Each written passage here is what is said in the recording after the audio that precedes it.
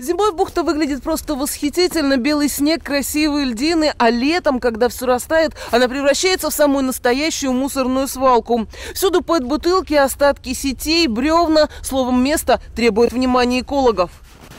Губогрязное – одно из примечательных мест Кольского залива рядом с Североморском. Летом мимо на катерах проходят рыбаки, туристы, большие корабли, что следуют в Мурманск. Организатор акции «Севморсубботник» Олеся Ильина приметила участок сильно замусоренного берега еще летом с воды. Оказалось, что к нему есть удобный подъезд по суше. Вместе с Олесей и фотографом Евгенией Земсковой в сопровождении местных барбосов мы отправились на разведку. Сейчас мы уже в Североморске как бы вот организуем следующий сезон. Мы подъехали посмотреть в целом а, подъезды, уже более так технически оценить возможности уборки. Ну и посмотреть, что пластик, а, мало ли, вдруг он куда-то исчез, но он никуда не исчез. Он на месте, то есть мы можем его на следующий год уже организовывать, уже такую централизованную его уборку. Наличие автомобильного подъезда – большое преимущество. Это значит, что и доставить волонтеров, и вывести собранное будет не так сложно.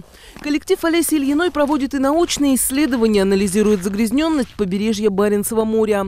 И хотя труд волонтеров по сбору пластика кажется каплей в море, он важен это и ну, какое-то вот э, привлечение внимания, то есть мы еще и показываем вот эти объемы, потому что ну, это может дальше влиять на потребление, а потребление уже в свою очередь э, уменьшает, более осознанно уменьшает количество мусора.